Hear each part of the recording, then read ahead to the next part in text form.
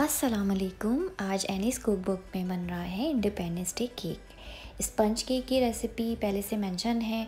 Link share कर दूँगी। Try कर लीजिएगा। स्पंज केक का पहले भी बताया था कि फ़ोर एग लेके सेपरेट सेपरेट उसको बीट करना है और फ्लफ़ी सा बनाना है। देन क्रीम को बीट कर लीजिए, उसको सेपरेट कर लीजिए। सेपरेट करने के बाद जब आप ग्रीन कलर मिक्स करेंगे तो उसको अपने हिसाब से डिज़ाइन दे दीजिए। जैसे फ्लैग का एक डिज़ाइन है।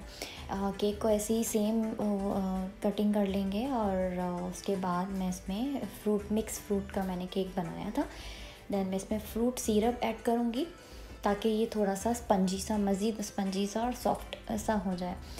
फ्रूट्स ये मिक्स फ्रूट ले लिए मैंने। मिक्स फ्रूट मैं इसमें ऐड कर दूँगी। ऐड करने के बाद इसका मैं सिरप डाल दूँगी ताकि थोड़ा स्पंजी सा बन जाए।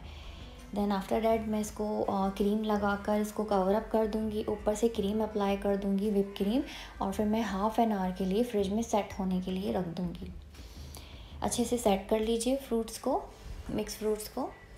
जितना पसंद है, जितना इट्स अप टू यू और क्रीम अप्लाई कर दीजिए। क्रीम अप्लाई करने के बाद इसके ऊपर केक को कवर अप करके सेकंड पार्ट उसको ऊपर से क्रीम से सेट करके हाफ़ एन आवर के लिए रख दीजिए।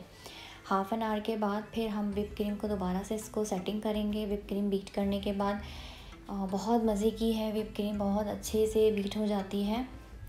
और ये मैंने कवर अप कर दिया है। ऊपर से इसकी ब्राउन स्किन मैंने क्लियर कर दी है और विप क्रीम को मैंने सेट होने के लिए रख दिया था केक को। लगाने के बाद अब मैं ऊपर से इसको सेट कर रही हूँ, उसको डिज़ाइन दे दूँगी फ्लैग का, पाकिस्तानी फ्लैग का। तो ट्राई ज़रूर कीजिएगा। बहुत यमी बनता है। वनीला स्पंज केक है ये। Vanilla fruit sponge cake cream को अच्छे से अप्लाई करने के बाद ये ग्रीन कलर देखिए, मैंने इसको इस तरीके से मिक्स कर लिया है सेपरेटली ये फ़ूड कलर होता है ग्रीन फ़ूड कलर कोई सा भी कलर लेकिन फ्लैग का कलर हमारा वाइट एंड ग्रीन है। अप्लाई कर लीजिए और रेडी कर लीजिए। अच्छा ये डिज़ाइन मैंने पाइपिंग बैग से नूज़ल से दिया है। किसी भी नूज़ल से आप इसको डिज़ाइन दे दीजिए। और दुआओं में याद रखिएगा। अल्लाह हाफिज़।